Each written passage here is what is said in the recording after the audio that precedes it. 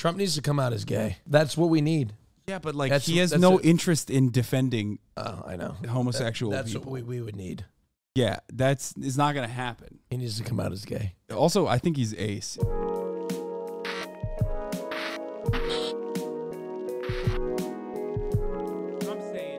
Let's get to Right. real shit. I'm ready okay, let's for get it. to the fucking Oh, hog God, watch. I'm You want to so- see this? Oh, dude, I love hog watch. It's my favorite part of the Hasanabi broadcast. Oh, I love hog watch. Oh, it's my favorite. GOP voters react to Trump's indictment. Oh, Say yes. These allegations Oh, God, do yes. not make any difference to them.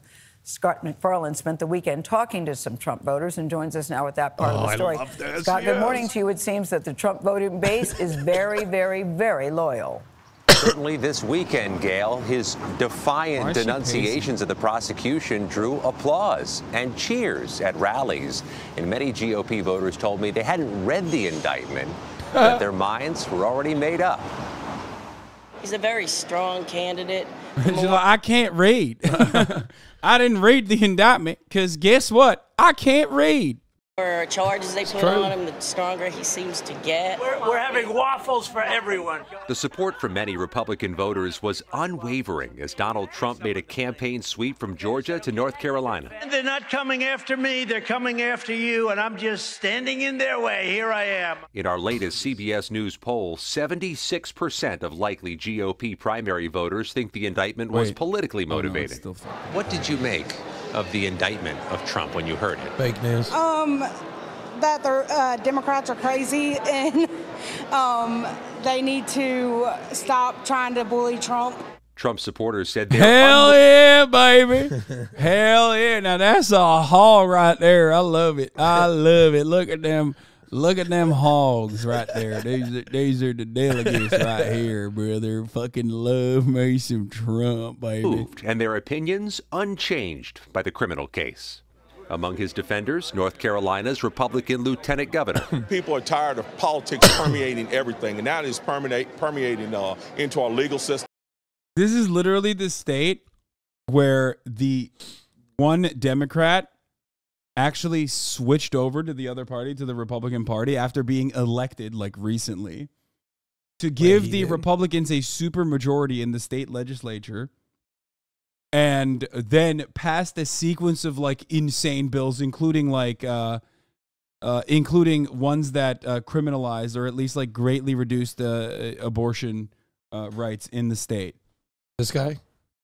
Yeah. He was a Democrat before. No, not this guy. No, no, no. It was a it was a woman in the Democratic Party. Bro. Um, uh, Tricia Cotham. I think people are not going to tolerate that anymore. The new CBS News poll shows only 38% of those likely Republican primary voters consider it a national security risk if I mean, that's Trump kept classified nuclear and military secrets, compared to 80% for the rest of the country. While 80% of Republicans said Trump should be able to serve as president even if convicted. Name Cool Breeze. Even if At a convicted. I mean, he could, and then he'd pardon himself. Yeah, he would. Darn He would- tootin', he'd pardon himself. He would it's like, bro, definitely you're, pardon himself. You're in North Carolina. Like, what is this fucking? I don't even understand where the accent's coming from. Like, I, I don't know where these fucking people are coming from. I, or maybe they were Georgians. I don't know.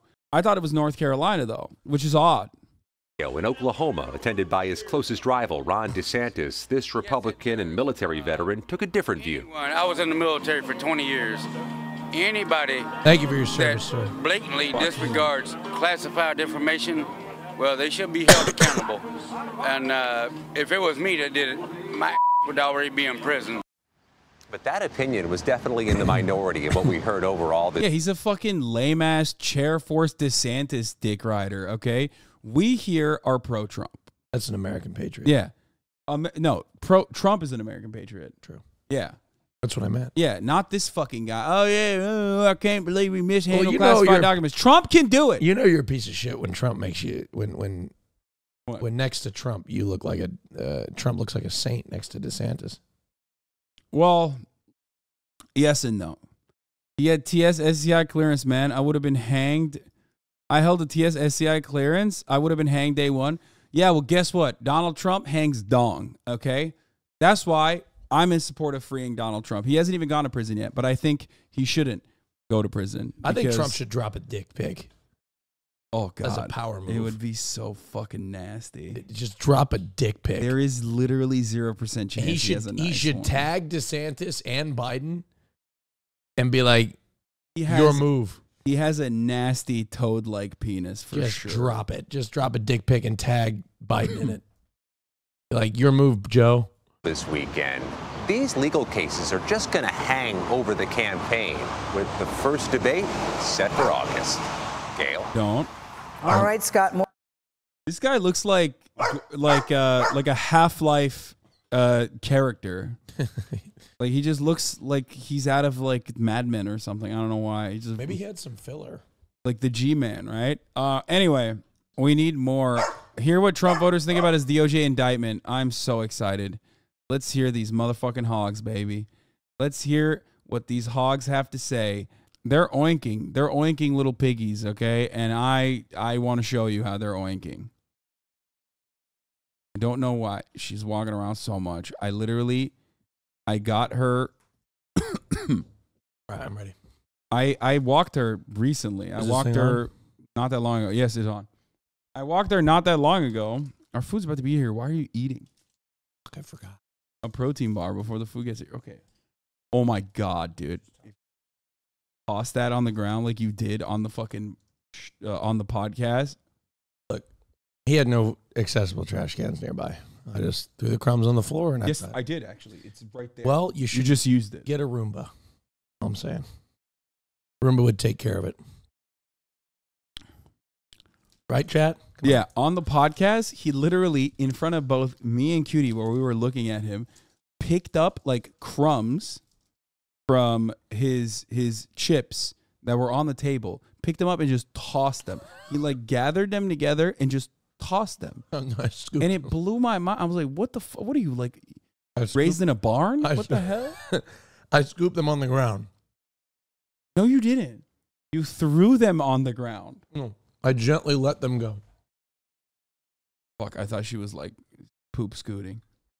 I don't know why uh, she's uh, behaving No, you- unruly. I, I let them free. I, I went like this. I gathered them my hand and I let them on the ground. So you don't likely pick his nose pick, roll flick on your floor. What? Chip top? Okay, whatever. surprised that the Let's- Trump let's supporters continue. that I spoke with um, really don't think too highly of special counsel Jack Smith or this investigation. what? Really? And if That's anything, shocking. they're actually Oh doubling God. down on their support That's for also former shocking. President No. Donald Trump. You gotta be kidding They me. see this indictment as further proof of every level of government and the press, is the way that they see it, uh, are going unfairly after Trump. Former President Donald Trump, unapologetic and on the attack. Jackson. Right, that's my Sounds president. so innocent. He's deranged. This is a political hit job. Georgia's GOP convention marking Trump's first public appearance after becoming the first former president to face federal charges. We have one set of laws in this country, and they apply to everyone. Special counsel Jack Smith announcing 37 criminal counts against Trump, the majority for violations of the Espionage Act. doesn't matter to me. Not at all. Outside the state convention, his supporters are unfazed. I think it's a bunch of bull. Trump ain't done nothing wrong. thing Trump done is, is saved this country. They're not going to let it stop. They can't stand the fact that he's running for president. And I am a Donald Trump fan. It, it's uh, probably altered, um, but it's just typical, typical uh, liberal propaganda. None of the Republican voters CNN spoke with. I don't give a fuck. indictment. no, I wouldn't waste my time on a phony indictment. I don't He's care got about the the con- he got the Confederate flag patch on him, brother. I don't give a fuck about no indictment. I don't care. We should be indicting Joe Biden for being a homosexual. You could, hey, you could indict a bologna sandwich. These loyalists share a deep sense of distrust against perceived opponents of Trump, including the Department of Justice, the FBI, and the press. Oh, God. Supporters routinely is, brought up Sleepy President Joe. Joe Biden, former Vice President Mike Pence, and former Secretary of State Hillary Clinton. All had sensitive materials in their possession while out of public office. One big difference Trump and his aide, Walt Nauta, face nearly a half dozen charges related to obstruction and concealment of documents, including for allegedly suggesting to his lawyers to not cooperate with a grand jury subpoena. In this whole fake indictment, they don't even once mention the Presidential Records Act. The indictment outlines two different occasions Trump allegedly showed classified documents to unauthorized people. And in 2021, Trump admitted on tape to having secret documents that he hadn't declassified, according to the indictment. As president, I could have declassified, but now I can't, Trump said, according to the transcript of the audio obtained by CNN. Just admitted There's an audio recording of him doing so. We know that that can be changed. We know that that can be altered. Within the 49 my page God. indictment, pictures showing boxes of classified documents stacked Oh, high God. in a Mar a Lago bathroom, We know. room, office space, and elsewhere. What he did is incorrect, absolutely incorrect. But the system allowed it to happen. The system is broken, needs to be fixed. The convention also drew a handful of anti Trump protesters, co opting one of his most popular catchphrases in this quick moment of tension. Lock him You serpent. Lock you up. Yeah, you had. You support Hillary Clinton. She done a lot wrong. Uh, you're an idiot. Ultimately, these Trump supporters Yeah, could brother, not lock point her to up. any piece of evidence that would cause Lock their support to waver. I think Trump is the best president we've ever had, and I'm all about getting him reelected. Fascist. And in a press conference this past week, special counsel Jack Smith encouraged people to actually read the indictment. It's 49 pages long to get a full grasp of the body of evidence there. Uh, these Trump supporters I spoke with made it clear they have zero got an idea. interest in doing that. Meanwhile, think Trump I think- I denies think- any wrongdoing, I think- and an attorney. Joke's on you, libtards. I don't know how to read. I said it already. Trump needs to come out as gay. Oh. His supporters support him in anything. That's what we need. Yeah, but like That's- he has that's no it. interest in defending Oh, I know. homosexual That- that's people. what we, we would need. yeah, that's it's not gonna happen. He needs to come out as gay. He's also I think he's ace, aromantic. Oh. That's my speculation. My suspicion is my my weirdest my weirdest suspicion is is that Trump is ace. And like he only has sex for like a power thing. You know what I mean? He does not strike me as the type of man You think he who thrusts? yearns who yearns for for sex. I think it's just like first and foremost, okay? Being ace does not change the reality. He can still be like a fucking creeper, okay? All the all the ace motherfuckers in the chat immediately chirp in and they're like, "No, that's not true. That's not true." No, he does not see sex as a as a you know a a pleasure a pleasurable experience. I think he views sex as like like We uh, don't claim him, is what they're saying. yeah. I see I think Trump views sex uh, simply as like a power posture. And I think he desires he desires sex from the from the perspective of like one who who gets power over like uh, women. Okay? That's what I think. Well, if it's just a power thing, then why doesn't he have sex with men too? Well, cuz it's like you know, he's not gay. But if you're you're basically taking the attraction out of it, and it's just a power thing. Well, he just doesn't want to overpower men. He sees sex as power. That's why he wants to grab women by the pussy because it shows he can do whatever. Yeah. Anyway. All right, let's continue. Um, we're gonna get back to the hogs and the hogalinas in one moment. I want to watch this. Here's Fox News host Jesse Watters. If you want to understand where, you understand where these people are coming from, like how they have these opinions, why they have these opinions. Well, we always got to see what the conservatives are saying about this, Mhm, Fox right? News. What are their talking heads saying about it? Well, here it is.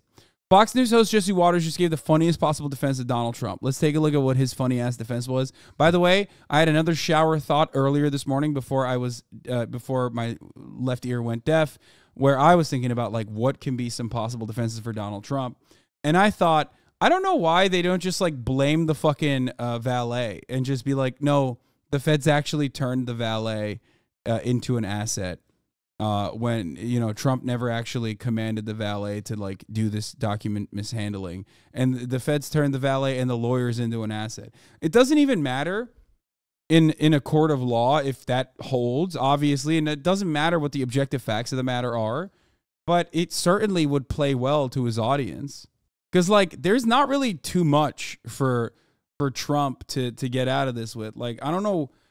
I don't know how Trump is gonna get out of the situation other than like all of the parties involved that are not Trump were actually doing the wrong thing, and Trump himself wanted to. Trump himself wanted to definitely do the right thing. Yeah. I hope the president answers the question in the courtroom when he when he finally gets before the 12 jurors.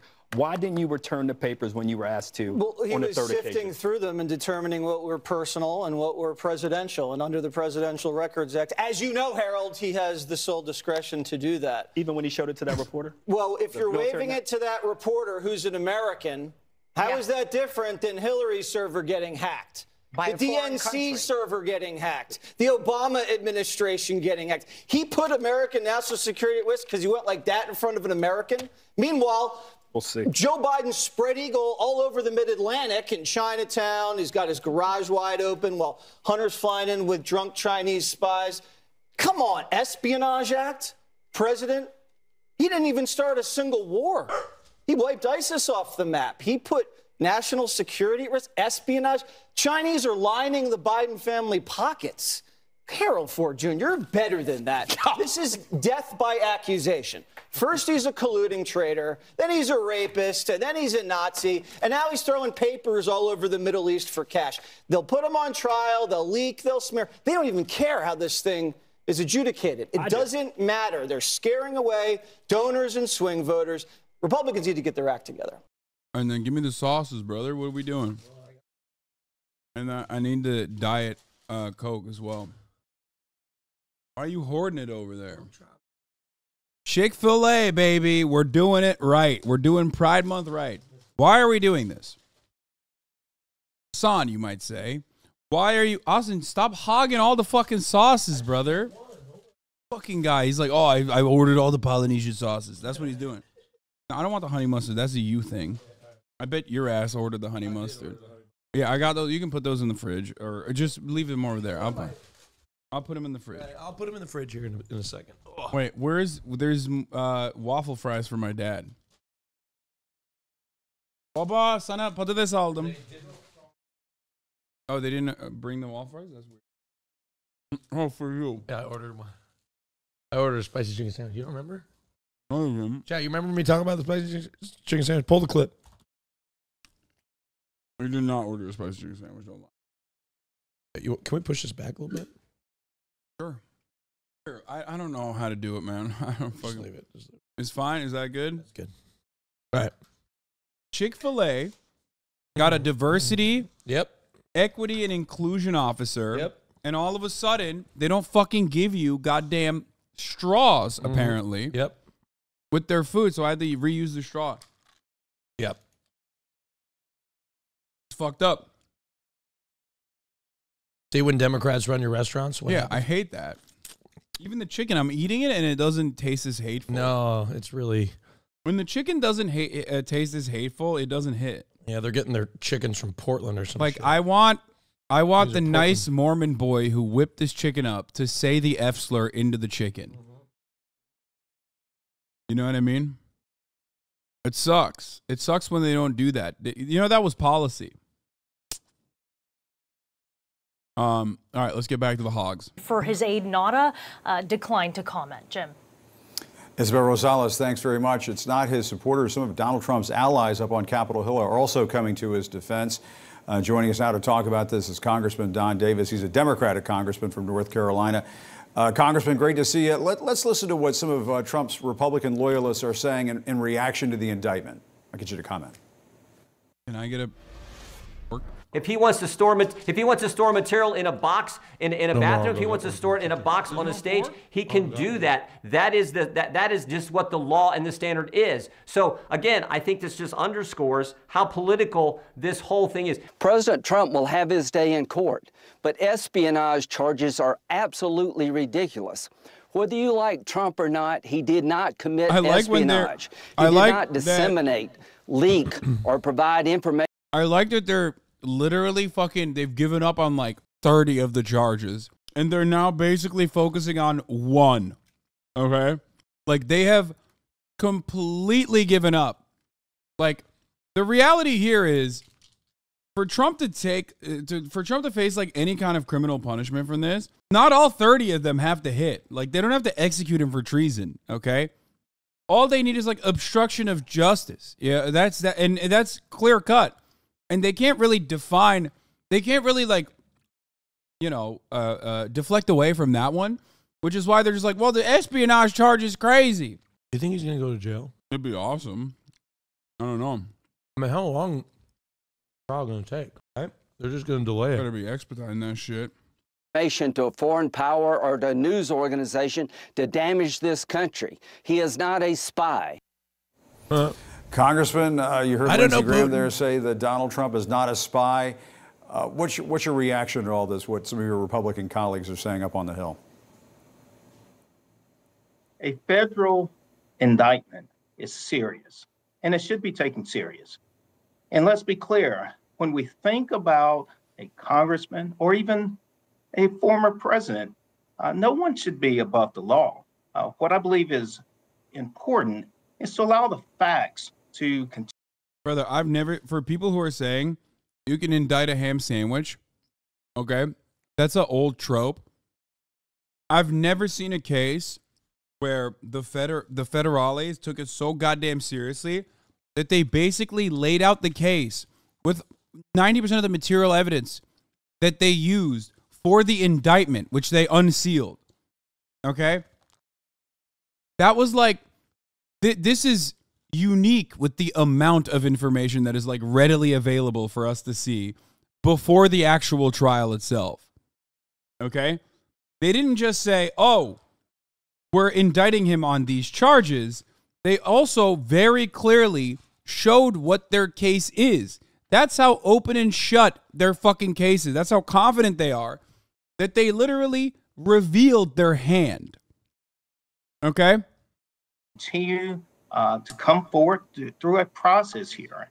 And let's allow the Department of Justice to continue to do its work. And as more facts are made available to the public, I Like, I don't think they needed to show numerous line items of Donald Trump uh, and, and transcripts from Donald Trump's private correspondence that straight up proves in the indictment itself that he was guilty. Like the the lines about how he knew that it was like declassified material or that he had not declassified, sorry, and that it was actually illegal for him to have.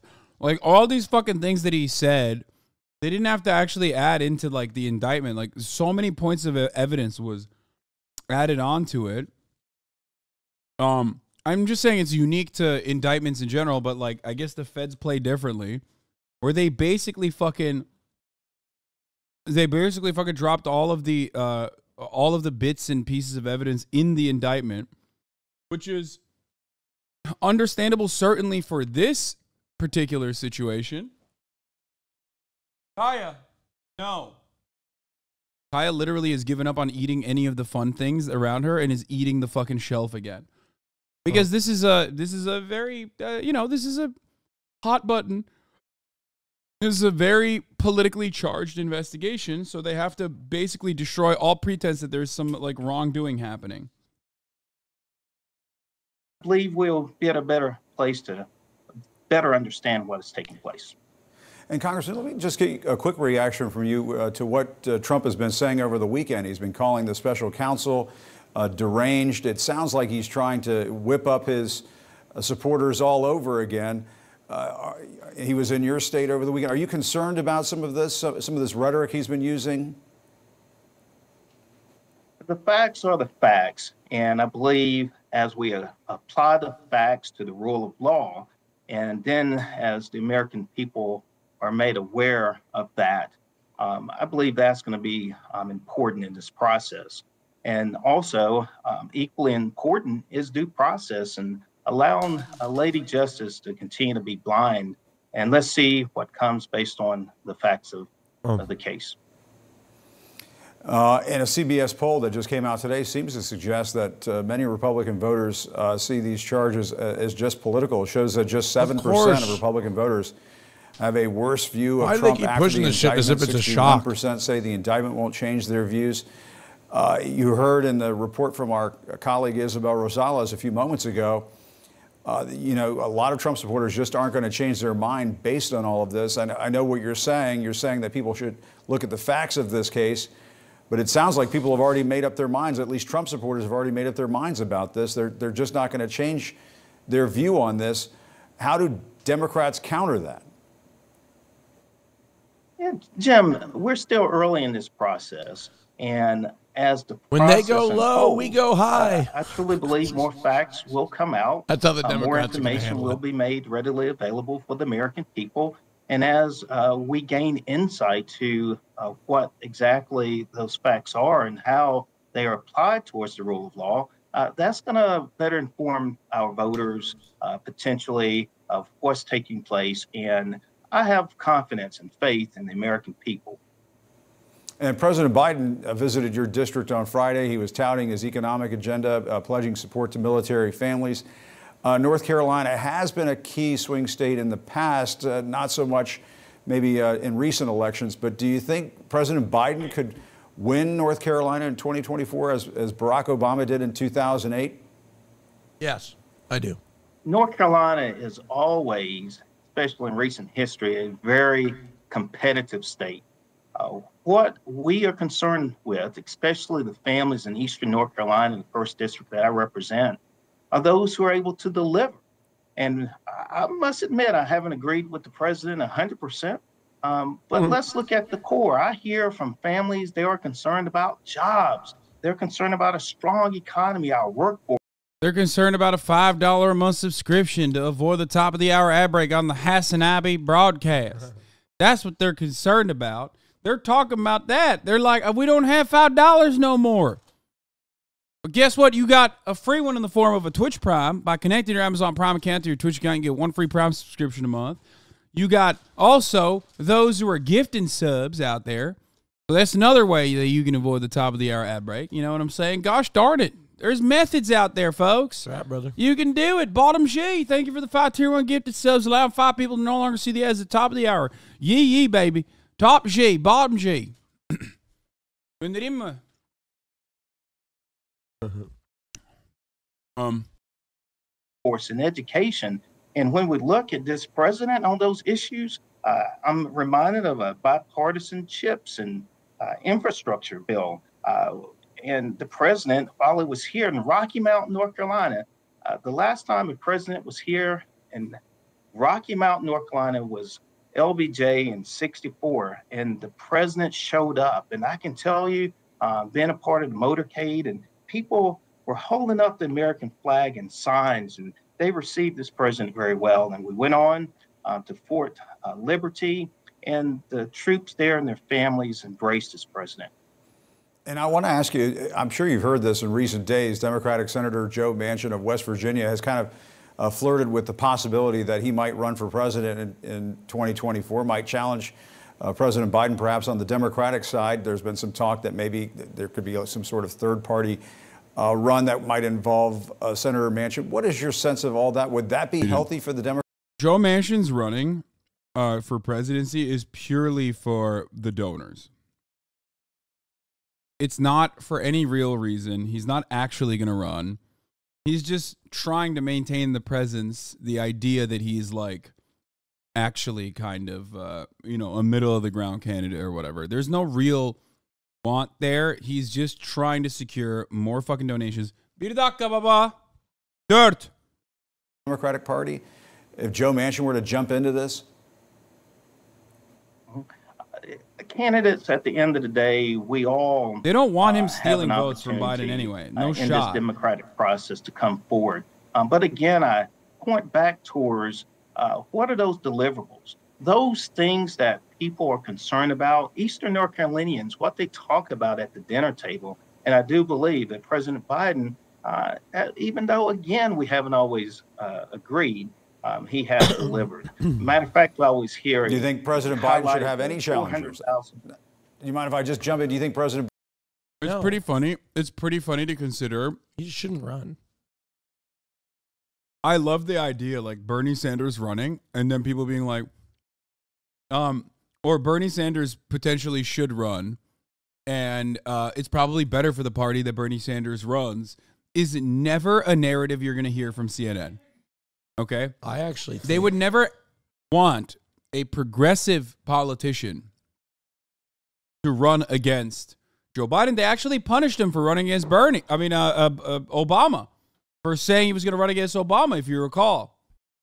Biden should have any challengers, or do you think he should run unopposed on the Democratic? I Democratic? believe in the democratic. I believe in the democratic process, and I believe the American people, out. in the end, uh, will uh, deliver for those who deliver for them.